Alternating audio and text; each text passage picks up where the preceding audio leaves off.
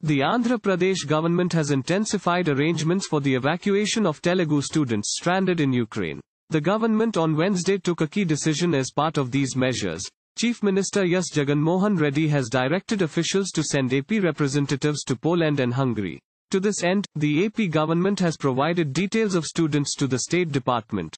Russia's military offensive against Ukraine has continued for the past seven days. In a fierce battle, the armies of the two countries are fighting without power hypocrisy. As the war intensified, the government of India decided to repatriate Indian students through the Operation Ganga project.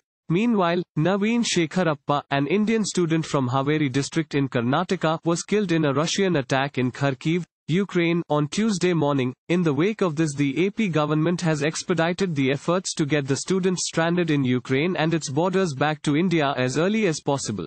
Six planes have so far arrived in India as part of Operation Ganga. More flights are coming home. Repatriation of Indian nationals who reached the Ukrainian border as part of Operation Ganga.